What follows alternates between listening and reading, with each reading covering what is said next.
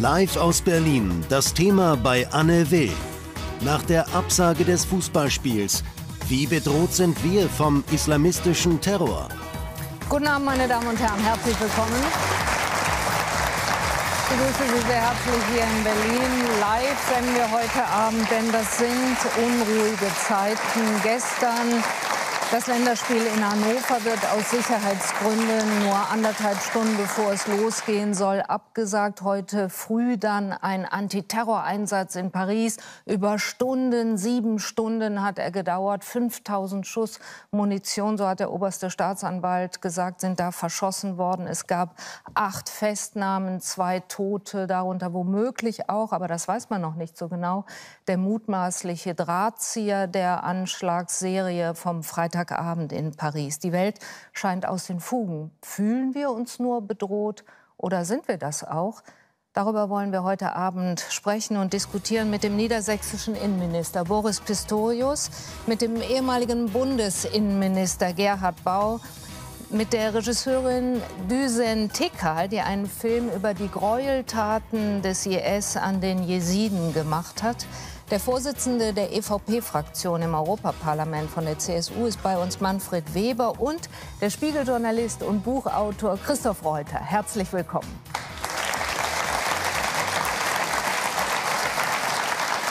Herr Pistorius, am Abend danach mit dem Wissen, dass es keinen Sprengstoff gab, den man gefunden hat, jedenfalls, dass es keine Festnahmen gab, dass es nur diese Bombenattrappe im Zug gegeben hat. Ähm, sagen Sie danach immer noch, es war richtig, das Länderspiel abzusagen? Uneingeschränkt. Es war die einzig richtige und einzig verantwortbare Entscheidung, dieses Spiel abzusagen. Und warum?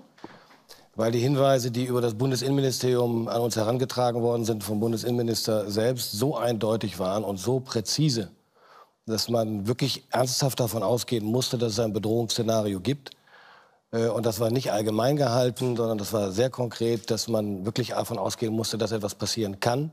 Und dann ging es schlicht um die Abwägung in einer solchen Situation, zu sagen, stellen wir die Staatsräson, den Wunsch, das Spiel stattfinden zu lassen mit der Symbolwirkung, die ihm zu Recht beigemessen worden war, oder stellen wir die Sicherheit an die oberste Stelle und angesichts des Grates des Konkreten war keine Alternative denkbar, als das Spiel abzusagen, weil es eben mehr war als alles, was wir bisher hatten.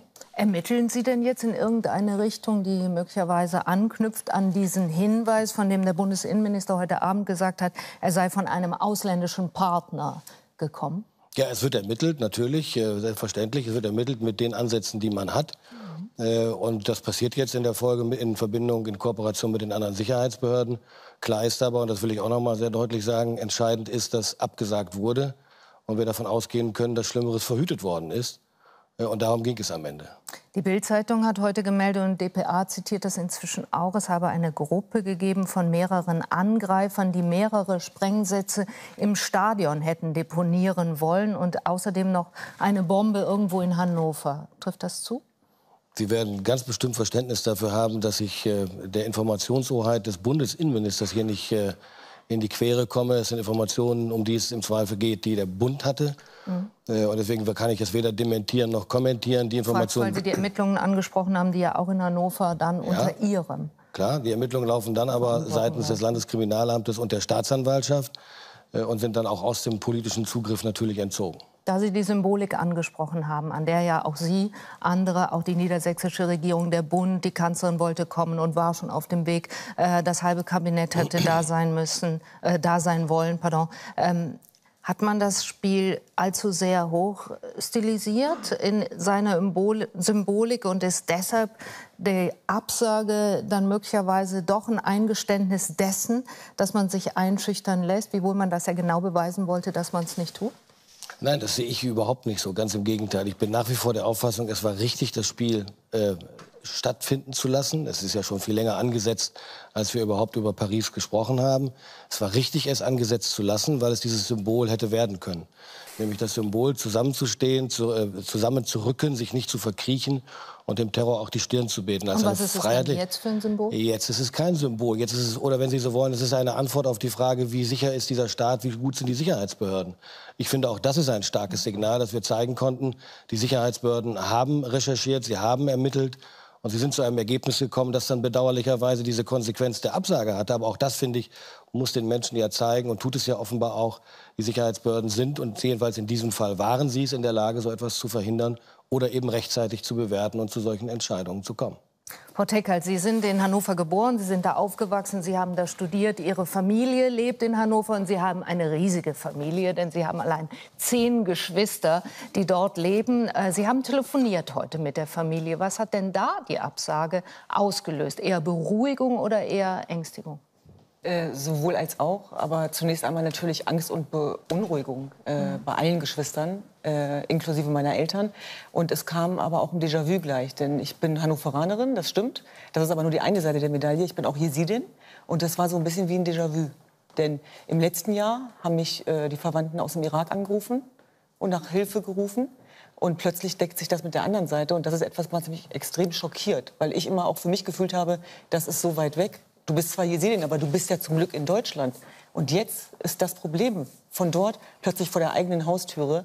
Und wir müssen uns spätestens jetzt die Frage stellen, warum das nicht mehr losgelöst voneinander zu verstehen ist. Und ich bin ganz fest davon überzeugt, dass die innere Sicherheit in Deutschland auch im Mittleren und Nahen Osten verhandelt werden muss. Und was haben Ihre Geschwister gesagt?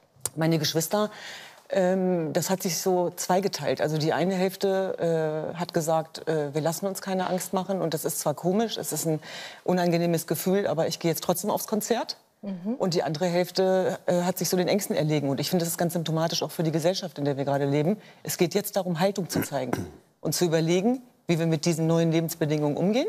Und das Substanzielle, dieses Diffuse, was wir, glaube ich, alle teilen, die wir heute hier sitzen. Also auch auf dem Weg hier habe ich gedacht, wie großartig, dass wir über alles reden können, die Meinungsfreiheit, all die Dinge, die wir für selbstverständlich erachten, wenn die plötzlich bedroht werden, dann fokussiert man sich.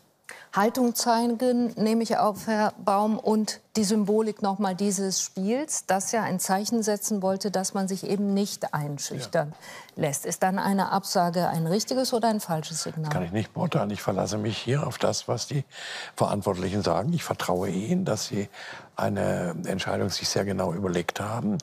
Ähm, ich möchte auch nicht alles wissen, was die Sicherheitsleute wissen. Allerdings, wenn äh, der Innenminister sagt, er verunsichert uns eher, wenn er uns die Wahrheit sagt, dann werde ich misstrauisch. Aber es ist eine richtige Entscheidung gewesen. Sie haben recht, das Spiel war symbolisch aufgeladen.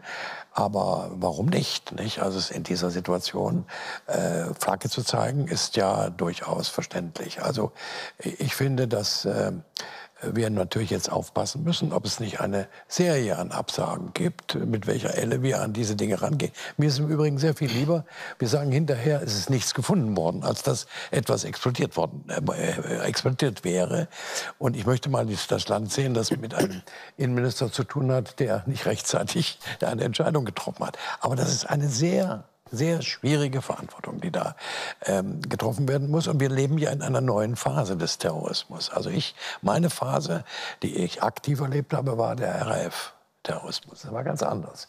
Er bezog sich auf äh, Repräsentanten des Staates, auf Wirtschaftsführer, nicht auf die Bevölkerung. Und jetzt, das ist das Erschreckende, die neue Dimension, auch von Paris, dass eben wahllos geschossen wird auf ein Café, in einem Theater. Das heißt, alle müssen sich bedroht fühlen. Und diese, diese Komponente ist, äh, schreckt die Menschen auf.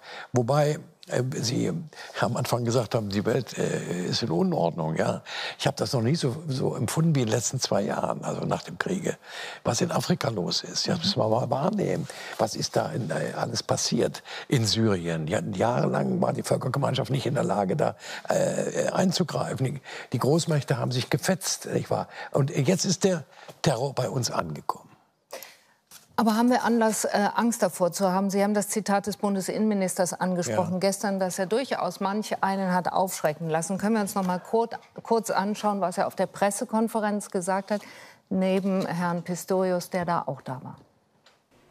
Was war der, was war der Gefährdungsgrund, warum Sie abgesagt haben? Was war der zeitliche Ablauf, dass die Entscheidung nachher so klar war, wie wir sie beide getroffen haben. verstehe diese Fragen. Verstehen Sie bitte, dass ich darauf keine Antwort geben möchte. Warum? Ein Teil dieser Antworten würde die Bevölkerung verunsichern. Sind Sie zusammengezuckt, Herr Reuter, als Sie das gehört haben gestern? Oder sagen Sie, naja gut, was soll's? Vielleicht hätte ich zusammenzucken sollen, aber das Problem ist, was jetzt in Paris passiert ist. Ähm, ist das, wenn man viel in Syrien unterwegs war, ist das, was jeden Tag passiert ist seit vier Jahren.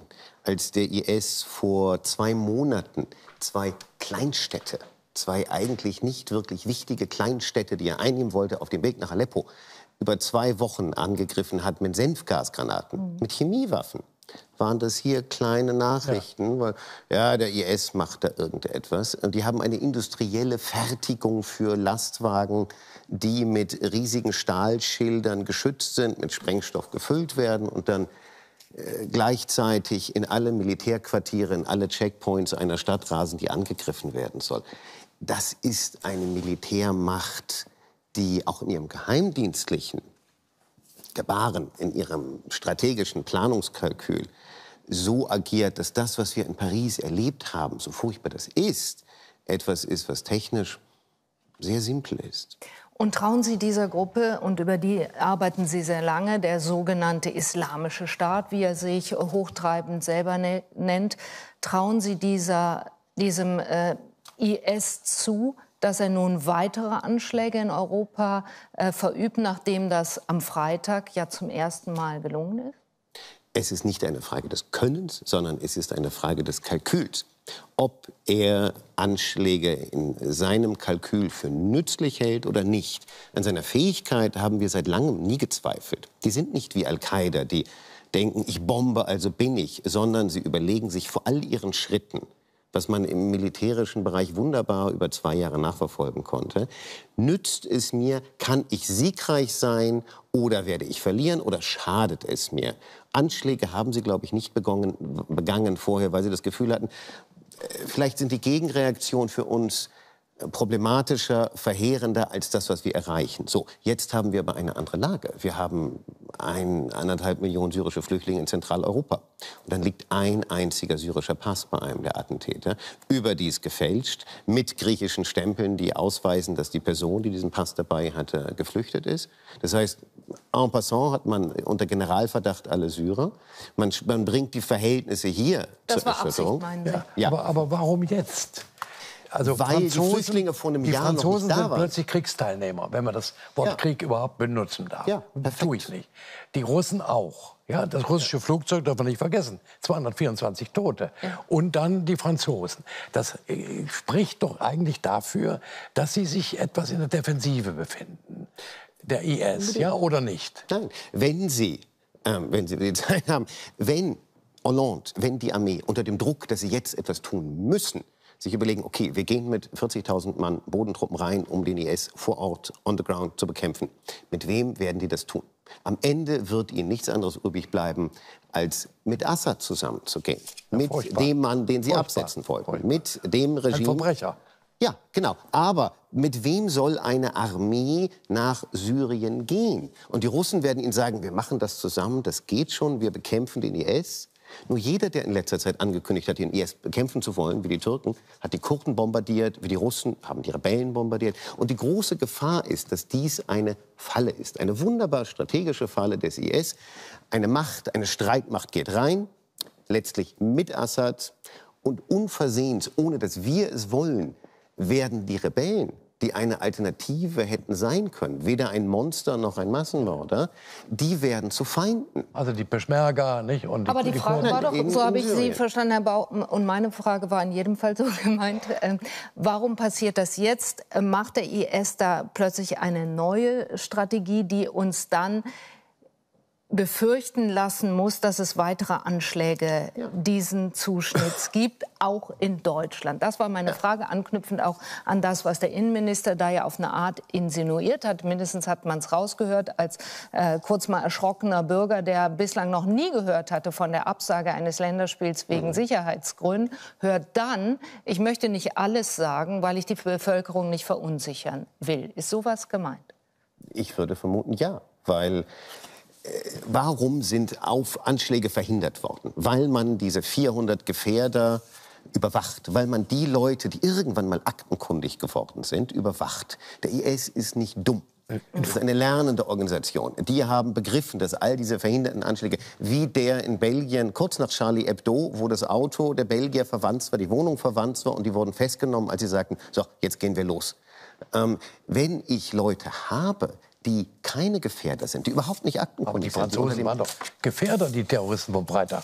Nicht alle. Nicht alle. Sechs. Ja, Sechs warte. Wenn ich sieben standen habe, auf der No-Fly-Liste. Und der IS ist grandios darin, über einen langen Zeitraum Schläferzellen zu etablieren, Leute einzuschleusen. Das haben sie an mehreren Orten gemacht. So, wenn ich Leute habe, die nicht auf der Gefährderliste stehen, wir wären die perfekte Terrorgruppe, weil keiner kommt darauf, dass wir es sind. Das ist das große Risiko und dem wird man auch nie Herr werden können.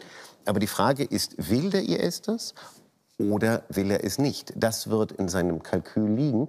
Und es ist zu früh zu sagen, was sie wirklich tun werden. Aber die Bilder der Angst, die Bilder der Angst, die wir gesehen haben in Paris, ein Feuerwerkskörper explodiert, die Leute hechten über die Bistrotische. Ja. Das ist es, was er will. Die Absage auch? Ist es das auch, was ja, er will? All das. Das ist ja ein mechanistisches Programm. Es gibt die Trittbrettfahrer, vielleicht gibt es welche, die sich wirklich sprengen wollen. Es erschüttert unsere verwundbare Gesellschaft. Und diese Angst wollen sie. Nicht unbedingt nur, damit wir zur Gegenreaktion schreiten, sondern vielleicht, damit wir sagen, macht da unten, was ihr wollt. Wir werden euch nicht mehr angreifen. Herr Weber, ja. Seit Freitag hören wir ja eigentlich andauernd, oder seit Samstag früh, das war ja in der Nacht auf Samstag, hören wir andauernd und haben es auch früher schon mal in anderen Fällen gehört, wir dürften uns durch den Terror nicht irritieren lassen. Wir dürften uns nicht davon abbringen lassen, äh, in der von uns gewählten Art zu leben, zu denken. Tun wir das jetzt inzwischen nicht schon längst? Natürlich kann man nicht tun, als sei nichts passiert. Wir haben einen schweren Terroranschlag äh, erleben müssen, alle miteinander. Wie bereits angesprochen, nicht der erste in Europa. Wir haben Madrid bereits gehabt, wir haben London bereits gehabt, wir haben dann Charlie Hebdo am Beginn dieses Jahres gehabt, dann zwischendurch weitere äh, Anschläge, auch in Kopenhagen und, äh, und, in vielen Städten Europas. Und jetzt dieser schwere wieder in Paris. Und da kann man nicht tun, als sei nichts passiert. Deswegen hat es Einfluss. Das Entscheidende ist, äh, ob wir, ob wir äh, wie wir reagieren, ob wir äh, entschlossen und besonnen reagieren. Das sind, glaube ich, die zwei Maßstäbe, die wir anwenden müssen. Und äh, ich glaube, dass Hannover uns, äh, die Entscheidung von gestern, äh, die, die ich niemandem abnehmen will, der solche Entscheidungen fällen muss, da habe ich Respekt vor den Persönlichkeiten und von den Verantwortlichen, die das zu entscheiden haben, äh, zeigt uns aber sehr deutlich, dass es nicht um eine nationale äh, äh, Frage geht, sondern um eine europäische Frage geht. Auch die Warnhinweise kamen ja von befreundeten Partnern. Also die, hat die Kooperation ja auch ein Stück weit funktioniert, dass wir in Europa uns unserer gemeinsamen Herausforderung bewusst sind und zusammenarbeiten. Ich darf noch mal schildern, ich komme jetzt gerade aus Brüssel, ja. aus dem Europäischen Parlament. Vor dem Europäischen Parlament steht bewaffnetes Militär. Das heißt, die Bedrohungslage ist in anderen Ländern, in Belgien, in Frankreich, noch mal ganz anders wahrnehmbar, als es bei uns in Deutschland derzeit der Fall ist. Äh, ich fühle mich einerseits dabei sicherer und andererseits natürlich dabei unsicherer. Und in dem Spannungsverhältnis bewegen wir uns. Das ist die eine Seite, die Emotionen, die mitschwingen. Und das zweite ist jetzt die ganz praktische Antwort, die wir zu geben haben. Ich glaube, dass wir in Europa ähm, an, der, äh, besseren, an der besseren Vernetzung unserer Ermittlungsbehörden arbeiten müssen. Beispielsweise gibt es in Deutschland seit einigen Jahren eine Gefährderdatei. Die Landeskriminalämter sind vernetzt, damit wir wissen, wer wen überwacht äh, auf, auf Landesebene ist das auf Bundesebene in einer Datei zusammengefasst. Und wenn es richtig ist, dass Bayern mit Baden-Württemberg eng zusammenarbeitet, dann ist es auch richtig, dass Bayern mit Österreich eng zusammenarbeitet, dass wir dort wissen, wer die Gefährder sind. Oder dass Niedersachsen mit äh, den Niederlanden und mit Belgien auf einer gemeinsamen Datenbasis arbeitet. Wir brauchen also eine gemeinsame europäische Gefährderdatei. Das heißt, Vernetzung ist das Ziel, partnerschaftliches Arbeiten, um die Sicherheit zu, äh, äh zu verbessern, ist unser gemeinsames Ziel in Europa. Ist das ein guter Vorschlag? Äh, theoretisch ja, in der Praxis äh, wohl deshalb nicht, weil die europäischen Staaten noch gar nicht so weit sind gedanklich. Ist jedenfalls mein Eindruck. Gerade wenn es um hoheitliche Angelegenheiten geht und Sicherheit gehört dazu, neigt man nach wie vor dazu, sich einzuigeln und im eigenen Schneckenhaus zu verharren und die eigenen Informationen als eigenen Schatz zu bewerten. Und erst wenn es konkret wird, tauscht man sich aus im Rahmen eines Goodwill. Aber richtig scheint mir zu sein, dass wenn wir über ein Europa in einem Schengen-Raum reden, mit einer gemeinsamen Außengrenze, da muss man über kurz oder lang auch über eine gemeinsame Außensicherheits-, aber auch Innensicherheitspolitik reden. Und eine gemeinsame Flüchtlingspolitik. Und eine gemeinsame Flüchtlingspolitik gesagt, ja. wäre zum Beispiel die erste Maßnahme. Aber wir sehen ja, dass wir schon an dieser humanitären Aufgabe ja. eigentlich scheitern. Von daher bin ich nicht so furchtbar optimistisch, dass es gelingt, dass bei der Sicherheitspolitik enger zusammengerückt wird. Aber nötig wäre es, weil wir so uns in der Tat äh, sicherheitspolitisch auch ein Stück weit atomisieren und darauf angewiesen sind, dass Informationen uns in dem Zeitrahmen erreichen, in dem wir sie brauchen. Es gibt eine Zusammenarbeit, die ist gut. Die gab es ja offensichtlich gestern. Die gab es gestern. Oder war das ein Zufall? Ja, ein Zufälle glaube ich in solchen Zusammenhängen schon mal grundsätzlich. Nein, ich meine ein Zufall, dass ein ausländischer Partner dann den Hinweis gibt. Das, das kann so sein. Das lasse ich mal so im Raum stehen. Aber entscheidend okay. ist, diese Hinweise gibt es und sie funktionieren, aber wir können nicht wirklich sagen, dass das auf einer belastbaren, strukturierten Basis passiert. Und darüber wird man sich in der Tat Gedanken machen müssen. Jetzt will ich manches verstehen, Herr. Ähm, äh, pardon. Herr Weber hat ja erzählt, dass äh, er diese hochgerüsteten Menschen da in Brüssel stehen sieht. Sie haben gestern das Spiel abgesagt. Wir haben von Herrn Reuter gehört, dass er eine Gefahr sieht, dass es weitere Anschläge geben könnte. Das hielte er für möglich, dann, wenn es dem IS nützt. Das würde der für sich so entscheiden. Bitte klären Sie uns auf, Herr Pistorius. Werden wir mit weiteren Absagen rechnen müssen von Großveranstaltungen, Weihnachtsmärkte etwa, die jetzt am Wochenende eröffnet werden sollen, Bundesligaspiele, Konzerte, die es gibt? Das ist nicht auszuschließen. Und zwar schon deshalb nicht, weil äh, die Situation heute, was äh, terroristische Bedrohungen angeht, eine andere ist als vor zwei Jahren oder vor drei Jahren. Die Zielauswahl ist willkürlicher. Äh, es geht nicht mehr so wie früher um bestimmte Amtsträger oder Wirtschaftsbosse, sondern es geht um Angst und Schrecken, der verbreitet ja. werden soll bei der Zivilbevölkerung. Und zwar der, die in Freiheit leben will.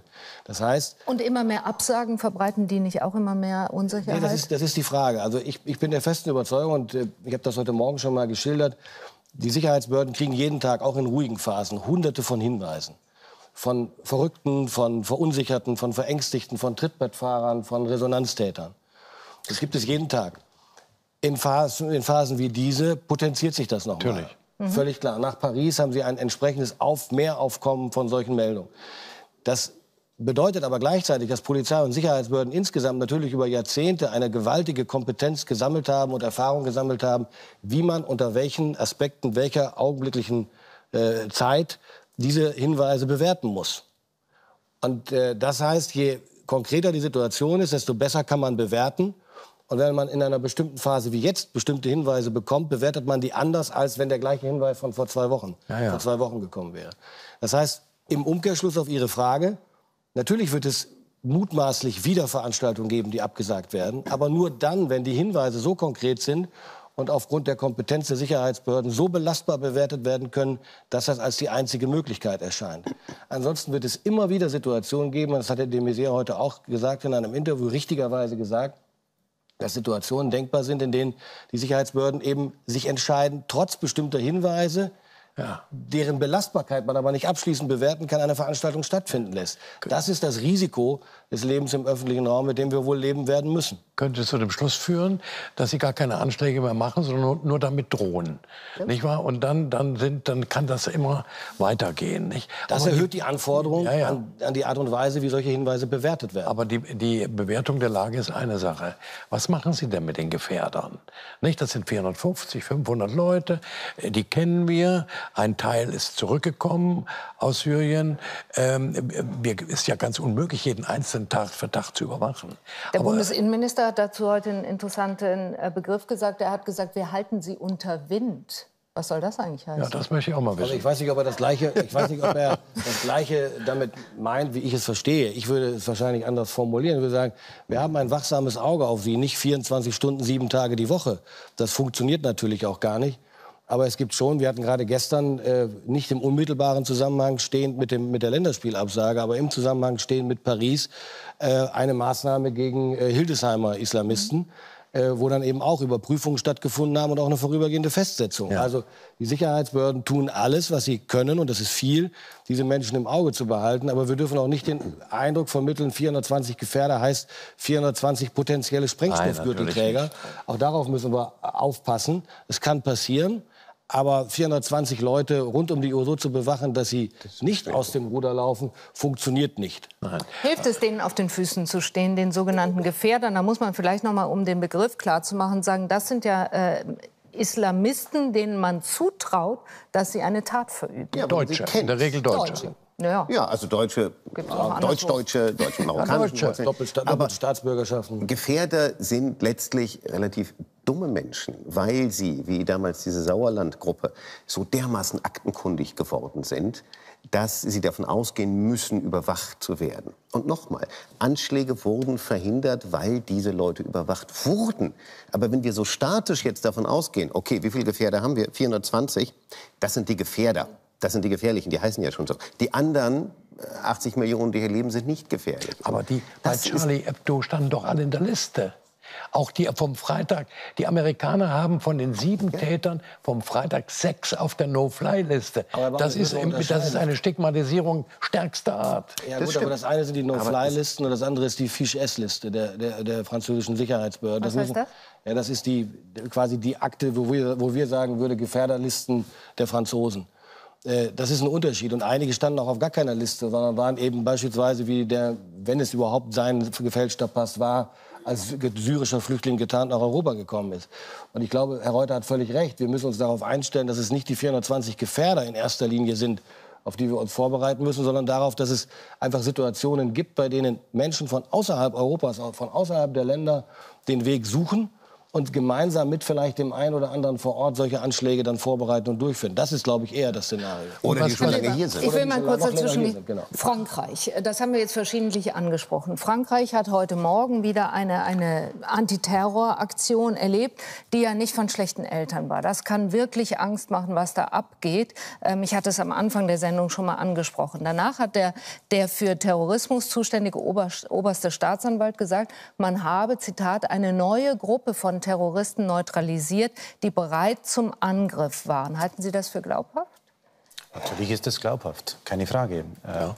Die, die, die, Netzwerke dort gibt es, die Gefährder gibt es, die Menschen, die bereit sind, äh, in den Tod zu gehen, die Wahnsinnigen, die diese Barbarei äh, verursacht haben, die diese Terroranschläge verursacht haben. Und das ist, stellt sich zunächst für uns wirklich die Fragestellung, Erstens, wie können wir Informationen austauschen? Es ist schon Wahnsinn zu sehen, dass wir beim Amsterdamer äh, der Bomber, der in einem Flieger in Amsterdam eingestiegen ist, dass der in Großbritannien und in Frankreich in der Liste war, aber in Amsterdam eben nicht auf der Liste war. Und das kann so nicht bleiben. Das ist der erste Punkt. Und der zweite, wir müssen uns einfach als Europäer, als Deutsche, als Franzosen, als Belgier ganz kritisch die Frage stellen, wie kann das passieren, dass Menschen, die bei uns aufwachsen, ja. in unserer Gesellschaft aufwachsen, in Paris, in Belgien, in Brüssel oder bei uns in Deutschland, dass die dann in, diese, in diesen Wahnsinn abgleiten. Und das ist eine Frage, die wir uns selbst zunächst ja, Was machen wir präventiv? Ich wollte, ich wollte aber noch zu einem anderen Punkt kommen. Äh, deshalb habe ich auch gefragt, halten Sie es für glaubhaft? Weil Frankreich natürlich jetzt auch unbedingt einen Erfolg braucht, der auf äh, Polizeiarbeit oder auf Arbeit der Staatsanwaltschaft zurückzuführen ist. Hintergrund ist ja, Frankreich hat seit den Attentaten von Charlie, äh, die mit Charlie Hebdo im Zusammenhang standen, hat, er, hat äh, Frankreich unheimlich aufgerüstet, die Sicherheitsgesetze äh, verschärft, ja, ja. hat einen Ausnahmezustand, ähm, äh, hat ähm, Personal eingestellt, ja. materiell die Polizei und die anderen Behörden besser ausgestattet. Dennoch sind ja am Freitagnacht die schlimmen Anschläge wieder geschehen. Frankreich fühlt sich seitdem im Ausnahmezustand einmal mehr und wieder neu, will morgen noch mal mehr äh, Bürgerrechte einschränken, Versammlungsfreiheit. Hausdurchsuchungen kann es geben bei Menschen, die man für verdächtigt hält, auch bei anderen, die nur im Umfeld dieser ja. Verdächtigen sind. Äh, machen die das richtig, die Franzosen? Ich glaube, dass wir verstehen müssen, dass Frankreich äh, äh, massiv erschüttert ist, dass das emotional das gesamte Volk bewegt. Und ich würde ausdrücklich sagen, es sollte uns alle in Europa bewegen, äh, was da passiert ist, weil es kein französischer Anschlag war, um das nochmal deutlich zu sagen. Deswegen äh, finde ich das richtig, was da gemacht wird, jetzt mit, mit den Möglichkeiten, die der Rechtsstaat auch in Ausnahmesituationen gibt, äh, jetzt mit aller Klarheit äh, gegen die Zellen vorzugehen. Und es wurden in einigen Bereichen äh, Waffen festgestellt, auch in Straßburg, in anderen Städten in, in Frankreich wurden entsprechende Waffenfunde festgestellt.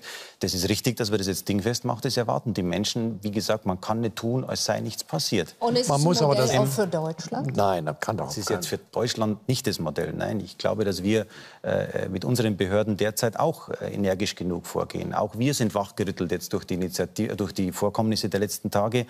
Äh, es gilt immer, die Balance zu wahren zwischen der Freiheit, zwischen der Rechtsstaatlichkeit und dem, was an Sicherheit äh, zu tun ist, weil wir uns ja nicht diktieren lassen wollen von den Terroristen, wie wir zu leben haben. Ähm, aber klar ist auch, wir haben einen schweren Terroranschlag gehabt und müssen jetzt agieren. Also die- Rechnen Sie damit, Herr Baum, dass Da- äh, wieder also Forderungen nach ein Verschärfung Teil- von Nein, Sicherheitsgesetzen das ist, kommt? Das sind zum Teil Symbolgesten. Nicht? Wir tun alles. Äh, da gibt es Regionalwahlen, da gibt es äh, Le Pen. Also der äh, Präsident will den Eindruck erwecken, er macht alles noch Mögliche. Er ist ein Feldherr in dem Moment. Und das ist, äh, diese, diese Maßnahmen sind ja normalerweise auf zwölf Tage beschränkt. Ganz genau. Nicht? Jetzt morgen plötzlich drei Monate. drei Und Monate. ich sage Ihnen, ich, äh, Sie haben ja eben einige Maßnahmen aufgeführt, die wären bei uns schlicht verfassungswidrig. Ich sage, wovon ich spreche. Ich Weil habe Sie dann immer klagen. Nicht wahr? Aber, äh, und sie sind auch nicht nötig, sie sind unverhältnismäßig. Ich bin für alle vernünftigen Dinge, die wirklich Sicherheit gewährleisten und Freiheit nicht unnötig aufs Spiel setzen. Und das sind Symbolgesten, die viele Unbetroffene einbeziehen. Das ist ja immer das Problem. Nicht die Tatverdächtigen oder die in der Nähe der Tatverdächtigen sich befinden, sondern wa- wahllos jetzt alle zum Beispiel speichern, der ganze Flugverkehr, alle Fluggäste in Europa. Das gibt es bisher nicht. Die Amerikaner haben ein, eine besondere Barriere aufgestellt für die Einreise. Okay, ist ihre Sache. Jetzt wird also das eu- europäische Überwachungssystem auf die Fluggäste gerichtet. Da wird also gespeichert, neben wem ich im Flugzeug gesessen habe. Ja. Und das auf Monate oder immer, auf Dauer. Das ist also eine neue Vorratsdatenspeicherung, die einfach eine, die Dimension des Rechtsstaats einfach sprengt. Finden Sie das richtig, dass es das gibt? Hollande hat sich ja jetzt beklagt, dass das immer noch nicht eingeführt worden ist, wiewohl er das seit dem Januar gerne gesehen hätte, als Reaktion auch auf die Charlie Hebdo. Weil wir wissen, dass Daten heute äh, in der Welt, in der wir heute leben, Macht bedeuten. Das gilt für Wirtschaftskonzerne, denken Sie an Google und Facebook, und das gilt aber auch für Ermittlungsbehörden.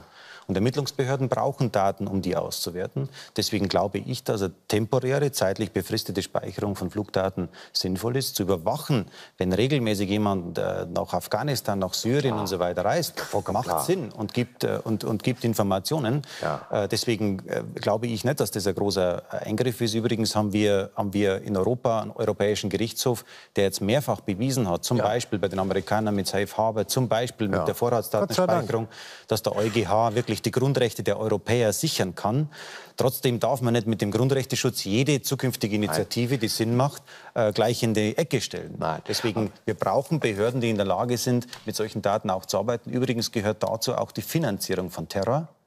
Die Amerikaner haben ein System um bei der Finanzierung von Terror, zum Beispiel ganz praktisch, wenn über, über Eurocard und Mastercard Finanzi äh, Finanzgeschäfte in Syrien abgewickelt werden, im Umfeld, von- dann ist das für die Ermittlungsbehörden ein interessanter Punkt. Und über solche Fragen muss Europa auch reden dürfen, Wir kriegen, ohne ja, gleich wir wieder mit kriegen dem ja in Datenschutz Deutschland nicht mal die äh. Beweislastumkehr für kriminell erworbenes Vermögen hin. Also Also nur Frau noch eine Bemerkung. Ich will, Sie in, die, will Sie in die Diskussion noch mal reinholen, weil Sie ja eben zu Recht gesagt haben, Sie schauen aus zwei Perspektiven auf dieses Thema. Zum einen als Deutsche.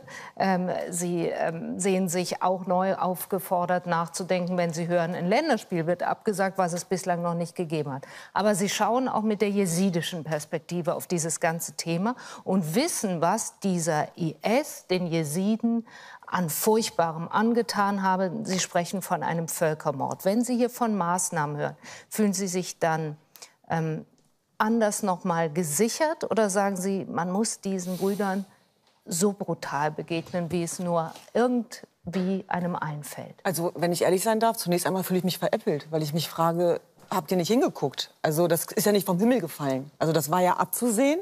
Und es hatte sich ja angedeutet. Und ich kann mich erinnern, als im letzten Angedeutet, Jahr... dass auch wir bedroht werden. dass alle bedroht werden, dass der Terror alle betrifft und dass der keinen Halt macht, äh, weder vor der vergleichsweise größten Religionsgemeinschaft der Welt oder der kleinsten, wie meinetwegen bei den Jesiden. Für den IS sind wir alles ein Haufen Schergen.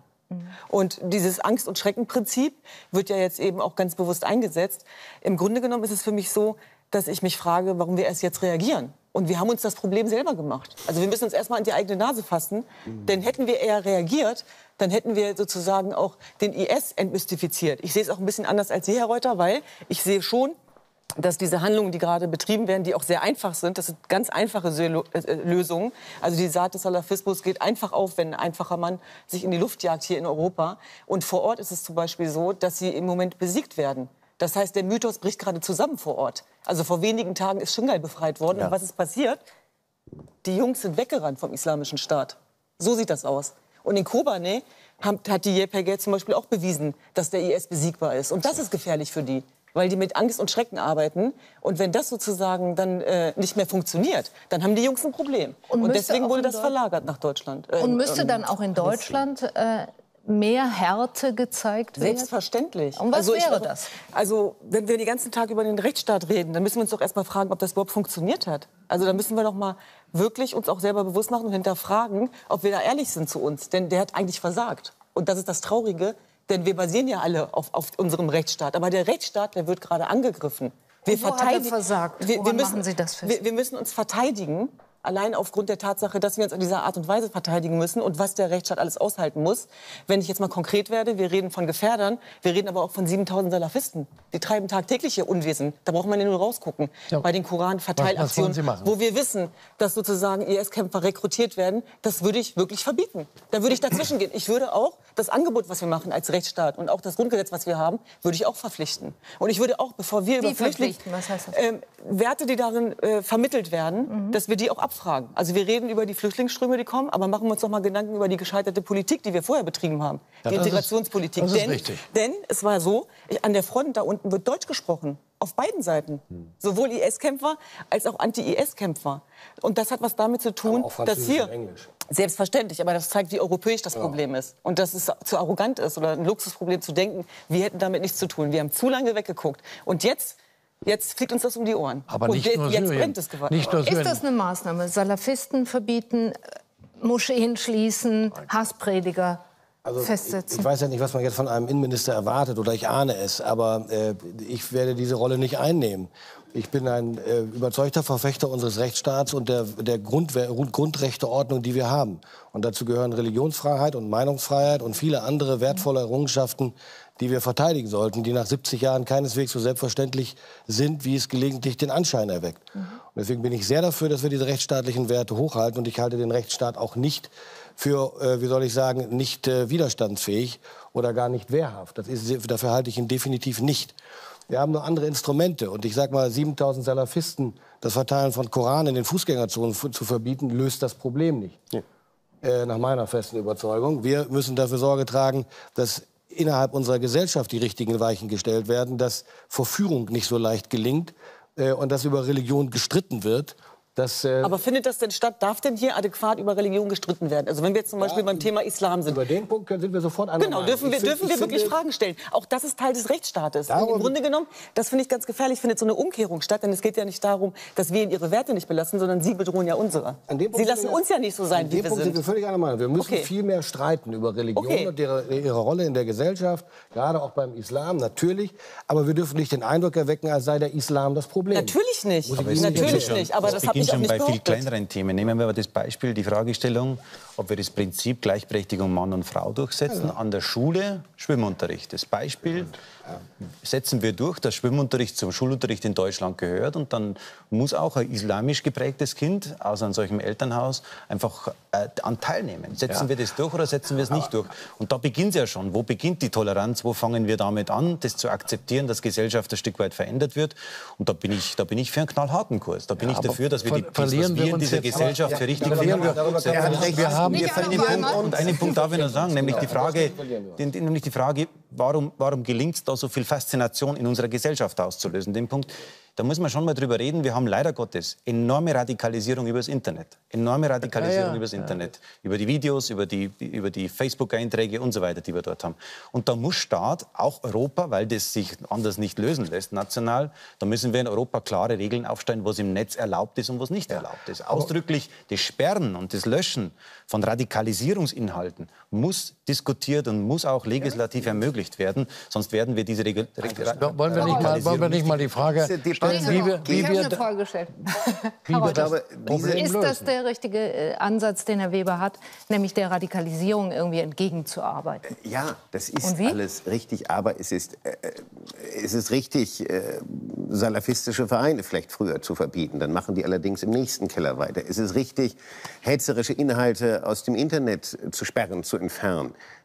Zehn Minuten später ist es irgendwo anders erhältlich. Natürlich. Es lässt sich nicht komplett blockieren. Aber das Grundproblem ist, wir diskutieren hier über einen organisch anwachsenden Salafismus, Islamismus. Aber das, was wir erleben, diese Anschläge, sind nicht das Ergebnis nur eines organischen Anwachsens, sondern sie sind hineingetragen worden. Sie werden verübt, weil in Raqqa, in Mosul sich die Führung überlegt, das ist jetzt für uns sinnvoll.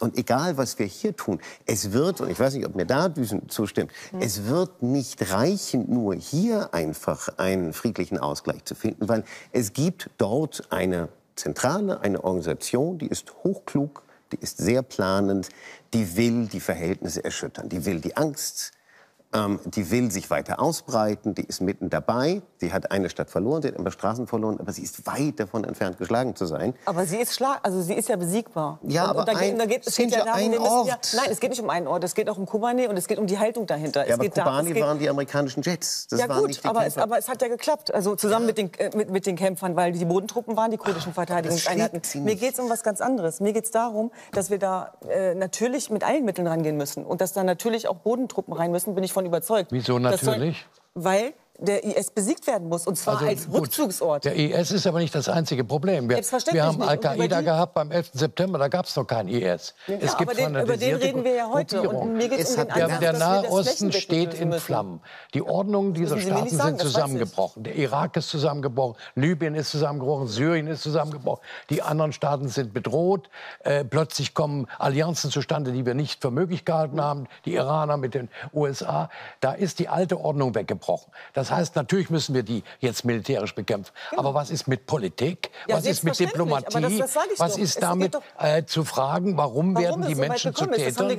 Warum werden sie gesagt, hier wir weichen aus. alles passieren. Es muss alles passieren. Gut, aber ich also das will das ja nur auf verstärken. militärischer Ebene, auf politischer Ebene, auf wirtschaftlicher. Mit wem reden wir hier eigentlich? Ja, auf und- und wir G20 sollten aufhören, vom Krieg zu reden. Beispielsweise. Also äh, wenn man dann eben verhandelt äh, mit den Teilnehmern, wo man eben auch weiß, dass es Unterstützer gibt. Das ist genau das, was äh, Herr Reuter gesagt hat, dass man sagt, man will den IS bekämpfen, weil er gerade nützlich ist, und zwar für Wirtschaftspolitik und Machtinteressen, die durchgesetzt werden. Am Ende wird nicht der IS beschossen, sondern es wird benutzt sozusagen. Und das ist das Problem, was ich mit dem IS habe.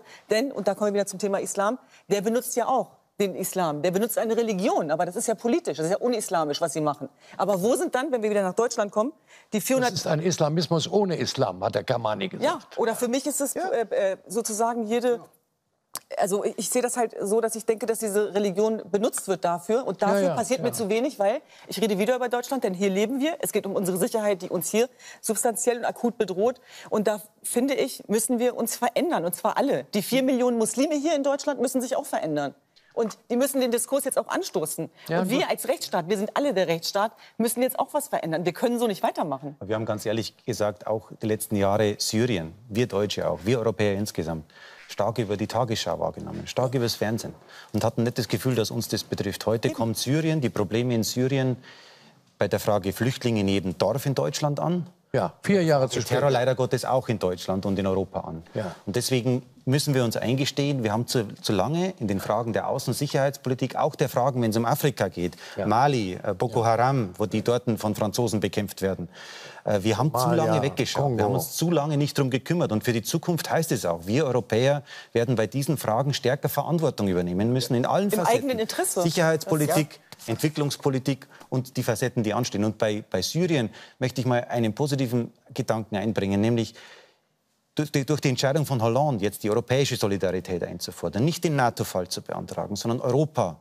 die Familie Europa um Hilfe zu bitten, öffnet die Tür, deswegen war die Entscheidung gut, öffnet die Tür mit Putin, mit den arabischen Staaten, weil eben nicht NATO im Einsatz ist, mit Putin, mit den arabischen Staaten und mit den Amerikanern gemeinsam vorzugehen, dass wir in Syrien verstehen, es ist nicht unser größtes Problem, so schlimm Assad ist, es ist nicht unser größtes Problem, dass wir uns streiten zwischen den globalen Mächten außenrum, sondern unser größtes Problem ist, ist die Barbarei zu beenden und den Wahnsinn des Islamischen Staates zu beenden. Dieser wenn Wahnsinn, uns das gelingt in dieser Wien, Wahnsinn, Herr Reuter, wenn uns das gelingt in Wien, dann wären wir einen großen Schritt vorangekommen und die Chance ich möchte Ihnen dazu noch was zeigen, weil äh, wir haben ja jetzt kennengelernt, wollten wir gar nicht, äh, diesen äh, mutmaßlichen Drahtzieher der Anschläge in Paris vom, äh, von Freitagnacht. Und dieser Mann ist ja auch wieder ein junger Mann, der aus äh, der Mitte nicht unserer Gesellschaft, aber der belgischen Gesellschaft äh, stammt, ist marokkanischer ähm, Herkunft, aber in Belgien aufgewachsen und da sozialisiert und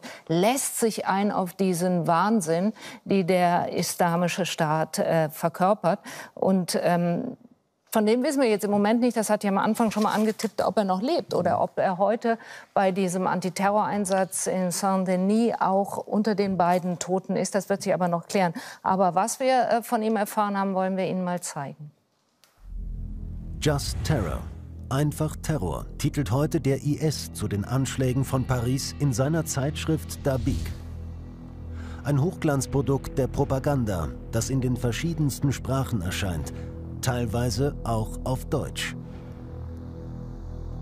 Ebenfalls in der heutigen Ausgabe, das soll die Bombe sein, mit dem der IS das russische Flugzeug über dem Sinai zum Absturz gebracht haben will. Schon im Februar veröffentlichte das Magazin ein angebliches Interview mit Abdelhamid Abaoud, dem mutmaßlichen Drahtzieher der Anschläge in Paris unter seinem Kampfnamen. In Marokko geboren, in Belgien aufgewachsen. Damals wohl gerade in Syrien, sagte Abdelhamid Abaoud, Allah hat mich auserwählt, nach Europa zu reisen, um die Kreuzritter zu terrorisieren, die einen Krieg gegen die Muslime führen.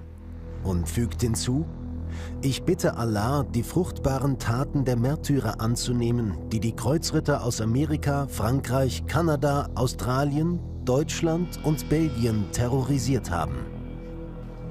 Herr Reuter, also wir hören, eine Bombe kann man verstecken in einer Getränkedose. Das will uns äh, dieses Magazin und will uns der IS äh, da suggerieren. Außerdem die raunenden Zitate dieses jungen Mannes. Hat er damit in Wahrheit die Anschläge angekündigt? Die spielen damit. Die spielen zum Beispiel mit einer, einem Bekennerbrief zu Anschlägen, wie nach denen in Paris, die nichts enthalten an Täterwissen. Mhm. Man sich fragt, okay, vielleicht vielleicht waren das wieder Trittbrettfahrer, genauso bei dem Anschlag auf dem Sinai. Sie haben mehrere Videos veröffentlicht und immer gesagt, ja, wir, wir waren das, haben dann Bilder gezeigt von Flugabwehrraketen, bis sich herausstellte, mit einer Flugabwehrrakete wurde dieses Flugzeug aber nicht getroffen. Und jetzt kommen Sie zu dem von Ihnen gewählten Zeitpunkt mit dieser Ausgabe von Dabeck, präsentieren, falls es ist, diese kleine Bombe und präsentieren noch einmal ähm, Herrn Al-Belgiki, der es gewesen ist. Sie spielen damit, wie Den viel wir jetzt immer Sie, unter diesem äh, Abaut. Äh, aber ja, wie viel Sie rauslassen. Und ich glaube, ein, ein Element davon ist, Sie wollen nicht eine isolierte Terrorgruppe sein, die irgendwo zuschlägt und sich dann mhm. bekennt, sondern Sie wollen Sie wollen die Spitze einer, einer ansteigenden Ermächtigungswelle sein. Macht.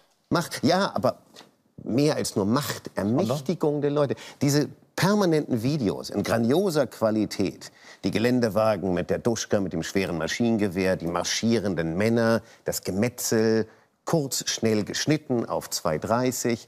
Das ist ja wie World of Warcraft zum Mitspielen. Und für viele Warum waren die Quachi-Brüder, äh, die auf äh, die Charlie Hebdo gestorben haben, warum war einer von denen 2013 im Jemen zum Training, noch bei Al-Qaida, und 2015 kommt er auf die Idee, oh ja, ich muss ja noch den Anschlag verüben. Warum passiert das jetzt? Und was wir mitkriegen ist, viele von den nicht immer klügsten Radikalen aus den Vorstädten, aus anderen Orten, die vorher dachten, ja, irgendwie ah, ich bin vielleicht zornig, die haben jetzt das Gefühl, da ist eine Gegenmacht, da ist eine Macht, die ihnen sagt, ihr könnt mit teilhaben. Was motiviert sie? Teilhabe, Teilhabe an der Macht, Teilhabe, die Speerspitze des neuen Kampfes zu sein. Das sind Verlierer unserer Gesellschaft. Nicht nur. Ja, nicht nur. Perspektive, die es gibt mehr. Die bekommen durch den IS die Alternative. Mehr. Und das ist das Gefährliche. Und diese Leute äh, steigen auf. Das waren die Attentate, zu denen der IS aufgerufen hat. Diese ganz vielen kleinen, die es gegeben hat in Australien, in, äh, in Belgien, in Dänemark. Das, das muss nicht mal der IS selbst gewesen sein, sondern er möchte, dass ja. eine muslimische, ein Tsunami aufkommt. Und er möchte ganz oben mitreiten. Weil sonst hätte er ja von Anfang an sagen können, russisches Flugzeug, übrigens, hier ist die Bombe, das waren wir. Ähm, Paris, hier sind die Täter, hier ist die Vita und hier ist das kleine Video, was wir vorher gedreht haben. Aber das ist ja ganz verlogen, was der Mann sagt, nicht wahr? Äh, die. Ungläubigen, äh, die, es gibt 100.000 Opfer oder was mehr des IS, die Mohammedaner sind. Am gleichen Tag wie in Paris haben sie einen Überfall auf ein Lager im Libanon gemacht, haben Frauen und Kinder hingemetzelt. Über unsere, übrigens unsere Opfersolidarität macht bisher bei, bei Europa Halt. Nicht? Diese anderen Opfer nehmen wir gar nicht wahr. Aber ähm, äh, Wir nehmen ja auch die Syrer nicht wahr. Ja, Da wird ein Land abgesagt, ja, nicht ein und, Länderspiel. und zwar nicht erst seit heute, da haben Sie doch vollkommen recht. Herr Böhr, Wir, da, wir, wir haben da zugesehen oder nicht einmal zugesehen, haben weggesehen. Nicht? Ist Und dieser Abdelhamid äh, Abaoud, äh, den wir da jetzt äh, auch noch mal zitiert haben, ist der einer von ganz vielen IS-Leuten, die in der Lage sind, denn man hält ihn für den mutmaßlichen Drahtzieher, einen derart koordinierten Anschlag in Europa zu verüben? Oder ist der jetzt mal besonders äh, gefährlich oder besonders geschickt gewesen? Er war ein, ein Ausführender. Aber das heißt nicht, dass er die Planung übernommen hat. Das heißt nicht, dass er den Befehl gegeben hat. Das heißt nicht, dass er abgewogen hat, sollten wir das jetzt tun oder nicht. Der IS ist extrem hierarchisch aufgebaut, sehr, sehr abgeschottet. Die eine Abteilung weiß nicht, was die andere tut. Wenn jemand präsentiert wird in Darbeck als das ist sozusagen der Täter, kann man im Zweifelsfall davon ausgehen, das ist eine Inszenierung. Genauso wie der Kalif der Posterboy der Veranstaltung ist. Aber nicht einer von den Männern, die im Hintergrund entscheiden, wir machen das, wir machen das oder wir machen das. Ähm, äh, ja, er war hier, er war sozusagen wahrscheinlich der führende Ausführer. Aber es gibt andere, die das auch könnten. Und er ist nicht der Kopf. Und wenn wir diesen Kopf töten, ausschalten, dann gibt es keinen Terror mehr. Also ich glaube, was, Kommt der nächste. was wir auch mal erkennen müssen, es gibt nicht den Dschihadisten. Es gibt den Verlierer, der, der mitläuft eine Zeit lang und wieder aussteigt, der irgendwelche Büchs- und Spanndienste verrichtet, äh, niederer Art. Und es gibt den Dschihadisten, der Führungs Führungsaufgaben übernimmt innerhalb Europas, Deutschlands oder wo auch immer. Und sein Leben opfert, das Sein ist ja auch Leben noch. opfert, aber auch da gibt es wieder nicht den Dschihadisten. Es gibt ja auch die Dschihadisten, die im Zweifel niemals den Sprengstoffgürtel zünden würden, im Zweifel nicht mal einen tragen, sondern ihnen jetzt wirklich um den größtmöglichen Schaden an anderer Stelle angeht. Äh, von daher haben wir das ja auch in Paris erlebt. Es gab diejenigen, das waren nun überwiegend Leute, die wirklich ihr Leben geben wollten für das, was sie taten. Aber an anderer Stelle haben wir es auch schon anders erlebt. Also es gibt, wir müssen uns, glaube ich, wirklich davon lösen, dass es den einen Dschihadisten gibt, Wenn das so schwer zu beurteilen ist, Herr Pistorius, beziehungsweise so schwer äh, zu belabeln ist vielleicht auch nur, ähm, was setzt der Rechtsstaat denn dann dagegen? Weil das hatten Sie mir eben während der Matz gesagt, dass Sie sagen, dazu muss ich noch einen Punkt sagen. Es, geht, es geht um das, um das klassische Spannungsfeld. Ein Staat, der angegriffen wird, ein freiheitlicher, demokratischer Rechtsstaat, der angegriffen wird und der sich verteidigt, der hat einen Zwiespalt. Einerseits erwarten die Menschen in dem Staat, die Bürgerinnen und Bürger, dass der Staat sich wehrhaft zeigt, Ja. auch martialisch zeigt und eben auch äh, kämpferisch zeigt. Natürlich, das erwarten die Menschen zu Recht. Aber wie weit darf das eigentlich gehen? Darf der Rechtsstaat, der freiheitliche Rechtsstaat, sich selbst ganz oder teilweise in Frage stellen, um wehrhafter und kämpferischer zu sein? Tut Mit der- Frankreich das schon? mit der Folge, gleich mit der Folge, dass er im Grunde genommen am Ende das Geschäft des Angreifers betreibt. Ja, ja. Nämlich unsere freiheitliche Ordnung und unsere Grundrechte quasi selbst in Frage stellen und es dem Angreifer abnimmt. Ich halte es persönlich mehr mit der norwegischen Reaktion damals nach Breivik, auch wenn das nicht vergleichbar war, was die, was die, die Art des Terrorismus angeht. Aber damals hat der äh, norwegische Ministerpräsident Stoltenberg sehr deutlich gesagt, man greift unsere Freiheit an, aber unsere Antwort darf nicht sein, die Freiheit zu reduzieren, sondern unsere Gesellschaft noch freier zu machen.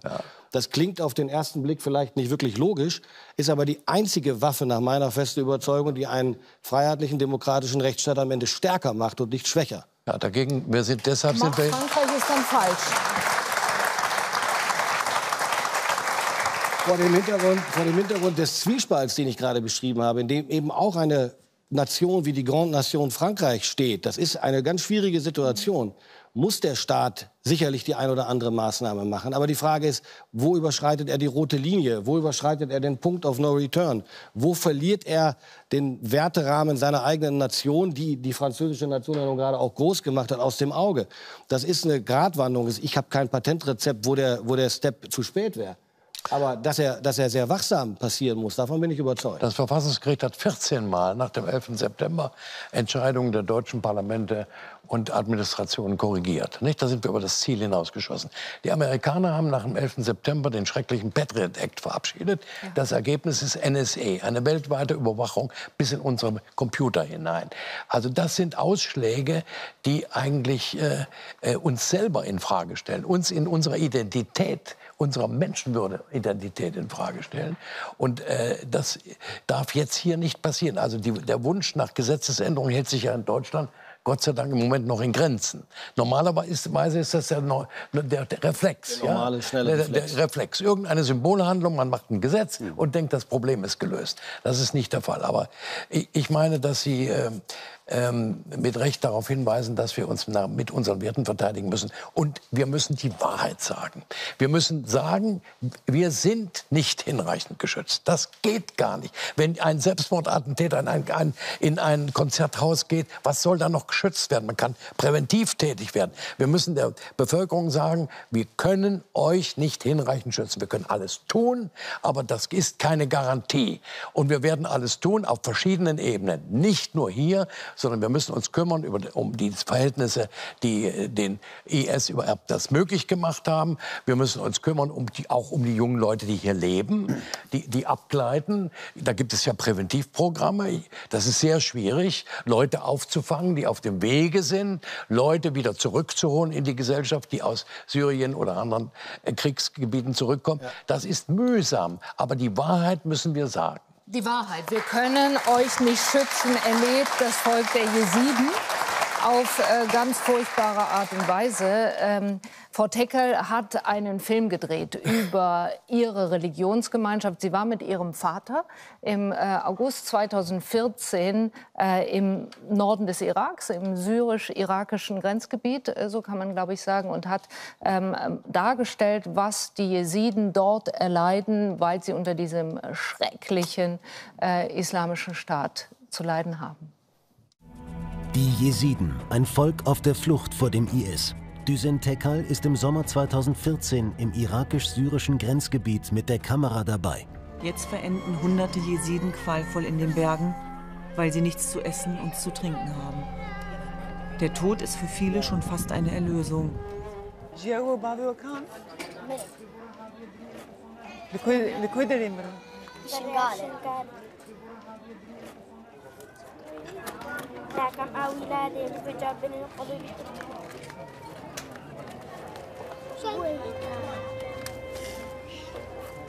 Düsen Tekal trifft Frauen, die vom IS entführt, missbraucht und verkauft wurden.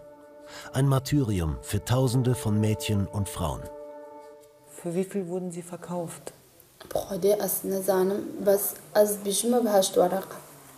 جهشت ورقة اه وهي جد قوتنا بهشت ورقة شعر ورقة هي جد Das Leid der Jesiden. Verzweiflung im irakischen Parlament.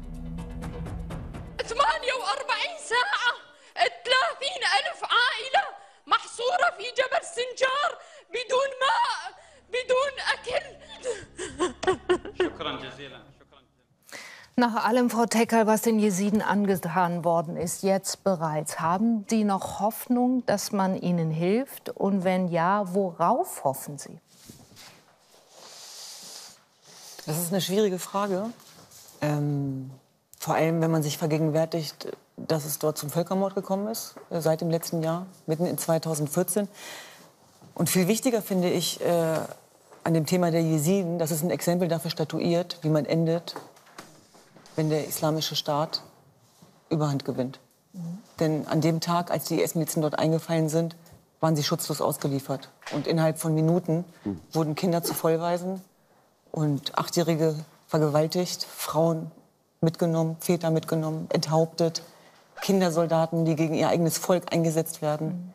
mit perfiden Mitteln, Massengräber, die gerade entdeckt worden sind, wo Kinder drin liegen, Tote, ähm, junge Mädchen, wo Mütter gehofft haben, die sind noch in den Händen des Islamischen Staats, aber lebend. Und dieser Horror spielt sich mitten in 2014 ab. Und Krieg macht traurig, macht wütend, aber auch ehrlich. Und mit diesem Blickwinkel versuche ich auch die Situation hier einzuordnen. Ja. Weil sie für mich nicht losgelöst davon zu verstehen ist. Denn die Mehrheitsgesellschaft lernt uns die Jesiden kennen über den IS-Terror, aber wir kennen das nicht anders. Wir kennen das nicht anders. Es ist zu, seit acht Jahrhunderten kommt es zu diesen Massakern und wir haben Muslime immer als Verfolger und als Beschützer erlebt, beides. Aber wir waren ihnen immer schutzlos ausgeliefert. Und jetzt, wo der Terror weiterzieht, also auch nach Europa, sind die Jesiden die Ersten, die aufstehen, weil sie sagen, wir haben einen Stellvertreterkrieg da erlebt. Und die haben Schilder hochgehalten im letzten Jahr mit Schildern wie heute wir, morgen ihr. Da wurden wir belächelt. Erinnern Sie sich dran, das waren diese Schilder, heute wir, morgen ihr. Und wir wissen, wovon wir reden. Und ich glaube, dass man diesen Menschen genau zuhören muss. Und wenn Sie fragen, ob ihnen geholfen wird, diese beiden Kinder, die Sie gerade gesehen haben, die sind immer noch dort. Und die sind immer noch Vollweisen. Und selbst die, die geflüchtet sind, harren aus in den Camps und äh, man redet da von Entwurzelung, die haben ja gar kein Zuhause mehr. Und der IS hat im Fall der Jesiden sein Ziel leider erreicht. Das hat bei einer Zahl von einer Million weltweit ist das ein herber Verlust. Und es sind immer noch bis zu 5000 Frauen in den Händen des Islamischen Staats. Und keiner redet darüber. Also man redet darüber, aber man geht weiter zum nächsten Tagesordnungspunkt. Und das können wir bei diesem Thema nicht. Und das ist der Grund, warum ich sage Entschlossenheit. Und, und das Übel an der Wurzel packen.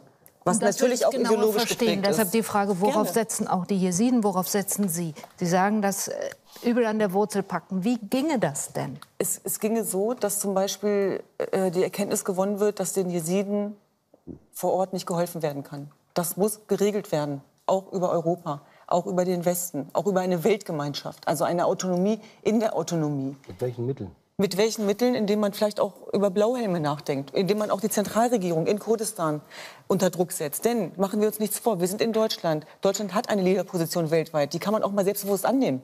Auch mal direkt und nicht nur indirekt. Wir liefern Milliarden. Entwicklungsmi- äh, Entwicklungsminister fahren hin, investieren Milliarden.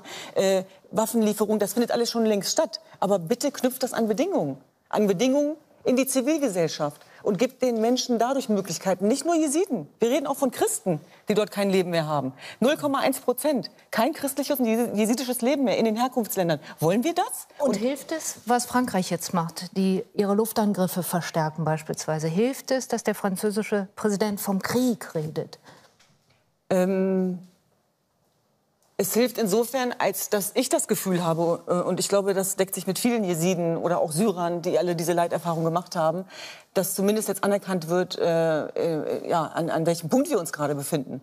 Und dass das eben nicht nur ideologisch gelöst werden kann oder in der Debattenkultur, die wir ja hegen und pflegen und wo wir unsere Gründe haben, aber dass der IS versteht diese Sprache nicht. Und deswegen müssen selbstverständlich müssen, müssen dort Bodentruppen, die dort vor Ort sind. Ich bin dagegen, dass Europäer reingehen. Aber zumindest muss man die Bodentruppen robust ausstatten. Und das hat bis heute auch nicht stattgefunden. Ja. Da findet Ja, auch ein Katz-und-Maus-Spiel statt. Und da werden die Leute eben entsprechend aufgerieben. Aber wenn Leute von außen reingehen, müssen doppelt so viel reingehen. Sie kennen sich nicht aus. Die kriegen das gar nicht hin. Und dann gewinnt der IS Zeit. Das muss man ganz pragmatisch einfach erklären und umsetzen und das auch offen thematisieren. Und ich glaube, in Bezug auf die Jesiden, 500.000 sind auf der Flucht und äh, die andere Hälfte ist in der Diaspora. Also will, will, Aber wann, aber wann haben das letzte Mal reguläre Boden- und Lufttruppen ähm, einen Gegner wie diesen besiegen können? In Mali beispielsweise. Die Franzosen, auch mit deutscher Unterstützung, sind dort, und kämpfen Boko, gegen Boko Haram. Und wenn wir dort nicht präsent wären, wäre das Land heute ja. bereits an die Islamisten Ja. gefallen. Einverstanden? Deswegen kann man nicht sagen, Aber kann wir man nicht sagen die Alternative dazu wäre ja zu sagen, wir kümmern uns gar nicht darum, Ja, was in diesen Regionen passiert. Das haben wir immer gemacht. Deswegen, deswegen, wir werden gefordert sein. Es ist ein Kampf. Es Also ist vor Ort die ein Frage Krieg. Die doch, Menschen Reuter, empfinden das auch so. Zunächst mal müssen wir Herr wissen, Reuter, die Frage ist doch, es gibt ja auch jetzt schon sehr, sehr viele Luftangriffe, die geflogen werden beispielsweise. Es gibt sehr, Volksmilizen, es gibt Nationen, es gibt die US-geführte große internationale Allianz, die sich auf die Fahnen geschrieben hat, den IS zu bekämpfen. einzudämmen und Einzudämmen. irgendwann mal zu vernichten. Aber erst Hilft mal, das dann alles nichts? Nein, der Punkt ist, es hat es tatsächlich eingedämmt. Aber ein Krieg, den ich erkläre und dann nicht gewinnen, ja nicht einmal wirklich führen kann, weil man nur aus der Luft im Moment angreifen kann, wird als Niederlage gesehen.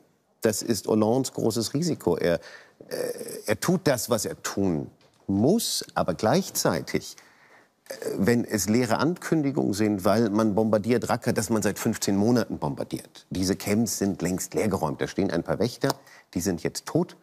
Ähm, aber der IS ist nicht getroffen worden, weil alle wichtigen Leute leben zwischen Zivilisten in den zivilen Vierteln.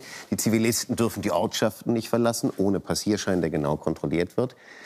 Aus der Luft wird es nicht funktionieren. Und wir haben das Sie Problem. wären also auch für Bodentruppen, ähnlich wie Frau Teckerl, ähm, Es geht darum, Nein. welche. dortige Anders. Kräfte? Nein. Ähm? Mali war einfach. Mali war einfach, weil Mali gab es sozusagen den Rest gegen die Dschihadisten. Wir haben im Irak und in Syrien haben wir bereits andere Kriege, die es unmöglich machen, überhaupt gegen den IS zu kämpfen, ohne ihn weitere Hunderttausende Rekruten zuzutreiben. Insofern müsste man vor allen Dingen in Syrien den Krieg, der dort immer noch äh, 30, 40 Mal mehr Opfer fordert als der IS, über den nur seltener berichtet wird. Äh, Assad stellt es auch nicht so zur Schau, wenn er Leute umbringen lässt. Insofern müsste man diesen Krieg überhaupt erst einmal beenden, um den IS am Boden bekämpfen zu können. Und das ist das, was Hollande in seinem, seinem, seiner Eile, seiner Not vielleicht übersehen wird. Dass man diesen Krieg beendet. Gut, das ist, es ist ein, ein bewaffneter Konflikt mit Terrormilizen. Der, das Kalifat ist kein Staat, dem man den Krieg erklären könnte. Verstehen Sie, wir haben auch hier keine Kombattanten, die in den Krieg ziehen, Doch. sondern Verbrecher. Äh, nein. Das sind Schwerverbrecher, Ja. die gar, gar nur den- das Ziel haben, Aber das ändert nichts daran, dass sie ihn nur am Boden besiegen können mit den Leuten, die Ja, dort gut, ich leben. will jetzt nicht über die Strategie, ich bin kein Militär, ich weiß nicht, wie man das macht, ob, man- ob man erfolgreich ist. Ich habe nur die Beispiele vor Augen, wo wir nicht erfolgreich waren. Nicht? Ja, aber äh, aus denen kann man und es muss sehr viele Diplomatie gemacht auch da sein. Der Westen muss zu einig sein oder die die Frage, Völkergemeinschaft muss einig sein. Es wird nicht nur an Militärstiefeln verhandelt, sondern auch an den Krawatten der Politiker. Und das muss vielleicht mal ankommen, dass man eben auch mit den entsprechenden Menschen, die dort eben auch regieren, da, wo Verbindungen stattfinden, äh, wie beispielsweise äh, Saudi-Arabien oder die Rolle der Türkei. Wie gehen wir mit der Türkei um äh, im, im Rahmen der EU? Warum machen wir uns erpressbar? Das sind doch so viele Fragen, die wir mal ehrlich Und angehen es sind auch so viele widerstreitende Interessen, Ja. Herr Weber. Ich habe immer den Eindruck, äh, da gibt es überhaupt keine Einigkeit. Die wird zwar behauptet, vielleicht kann man sich gerade darauf versammeln, dass der IS bekämpft gehört. Ja, aber das- dann, dann hört's schon auf. Danach hört es doch Das auf. Doch, das wäre doch ein, große, das wäre doch ein, große, ein große, sen- großer Fortschritt, wenn uns jetzt bei den Wiener Gesprächen, die ja derzeit stattfinden zu Syrien, erstmal sitzen alle Beteiligten im syrischen Konflikt an einem Tisch und reden miteinander. Ja. Erster Fortschritt. Zweiter Alle Fortschritt. Beteiligten. Alle Beteiligten, Alle haben nicht externen, gesehen. Alle, ja, alle externen Kräfte, Sie haben recht, die Klarstellung ist richtig. Äh, Wir haben erstmals alle am Tisch, die da, daran beteiligt sind. Wir haben jetzt beim G20-Gipfel in der Türkei Beschlüsse gefasst bekommen, Gott sei Dank, zu der Fragestellung, das Krebsgeschwür trocken zu legen, die Finanzierungsstrukturen des Islamischen Staates anzupacken, die Frage der, der, der, der, der Waffenlieferung in die Region hinein. All diese Fragestellungen werden jetzt angepackt, erstmals konzertiert. Nein, das sind dieselben. Sorry, aber die Finanzierungsstrukturen, das haben, hat uns Obamas Regierung seit über einem Jahr erzählt. Wir werden die Finanzströme trockenlegen. Das können sie aber gar nicht, weil Solange das Iran nicht am Tisch sitzt, Saudi-Arabien nicht am Tisch sitzt, kann, kann das doch der Gros- doch USA das natürlich. nie alleine entscheiden. Was ist die Die Finanzströme, die Finanzströme des IS bestehen nun mal zum Großteil, weil die sich frühzeitig unabhängig gemacht haben, aus dem Auspressen der fünf bis acht Millionen, die unter ihrer Quartell leben. Und das tun sie, weil sie, sie wissen genau, wem was gehört. Sie haben sofort die Banken, die Havala, Wechselstuben, wo Geldtransfers vorgenommen werden, geplündert. Sie haben die Katasterämter übernommen. Was ist die an den Gerüchten dran, dass sie in Geldnot sind? Es geht ihnen nicht sonderlich gut. Aber, ja, aber der Punkt ist, sie erwirtschaften das Geld auf eine Art und Weise, die man ihnen nicht wegnehmen kann. Die Frage der Doch, der kann man ihnen wegnehmen. Sie haben profitiert von immer neu eroberten Gebieten und haben dort die Leute ausgepresst. Ja, und das Wenn das zu. Ende ist, ist da schon mal eine Quelle ausgetrocknet. Ja, aber acht Millionen Leute wollen Sie die alle sterben lassen. Ja, Sie müssen die Leute ernähren. Äh, humanitäre Organisationen liefern medizinische Güter, liefern zum Teil Nahrung ins IS-Gebiet, weil sie sagen, wir können die Leute doch nicht verhungern lassen. Und der IS sagt, bitte liefert. Äh, Diese Organisation ist nicht so dumm, wie man sie gerne darstellen würde. Ist sie dann besiegbar? ja, natürlich ist sie besiegbar. Und wie?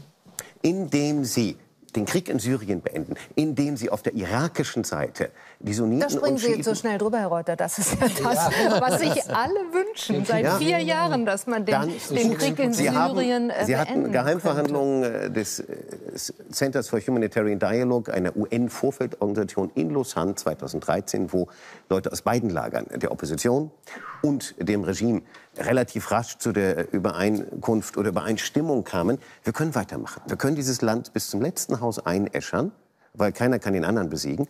Und dann was? dann ist nichts mehr da, worüber wir gewinnen können. Aber so. ist vielleicht Al-Qaida noch da und andere? Al-Qaida, vergessen Sie Al-Qaida in Syrien, das ist, äh, das ist ein Emblem. Nein, Sie müssen ja, die immerhin, beiden... Immerhin ganz wirkungsvoll, ne? in, äh, in New York das, was wir uns heute unter Al-Qaida vorstellen, hatten, oder das, was wir uns darunter vorstellen, hat nichts mehr mit, so gut wie nichts mehr mit dem zu tun, was da in Syrien mit einer Al-Qaida-Flagge ja, herumläuft. Ja. Will, wir sind seit drei das Jahren so nah am Waffenstillstand wie noch nie vorher bei diesen Wiener Gesprächen, die jetzt stattfinden. Wir sind noch ein Stück am Arbeiten, aber wir waren noch ja, nie so nahe dran. Aber jetzt kommt das, heißt auch, das heißt auch, ein paar Wahrheiten zu akzeptieren. Zum Beispiel für uns, obwohl Assad Massenmörder seines eigenen Volkes ist, heißt es für uns zu akzeptieren, dass wir mit dieser Kriegspartei werden in irgendeiner Form zu Kompromissen ja. kommen müssen. Genau. Das sind ein paar ja, ehrliche Wahrheiten, das, die wir uns sagen IS müssen. Möchte. Und ich wiederhole meine Ausgangsthese. Paris hat in dem Sinn auch den Effekt, dass sich alle jetzt, auch wir Europäer, Gesamteuropa sich besser bewusst wird, dass wir mehr das Gemeinsame sehen müssen und nicht das, das, das Trennende sehen müssen, wenn es in Syrien um den gemeinsamen Feind geht. Wir müssen feststellen, dass wir mit dem Islamischen Staat oder mit Boko Haram in Nigeria keine Gespräche werden führen können, keine Kompromisse, keine Verhandlungen werden ja. führen können.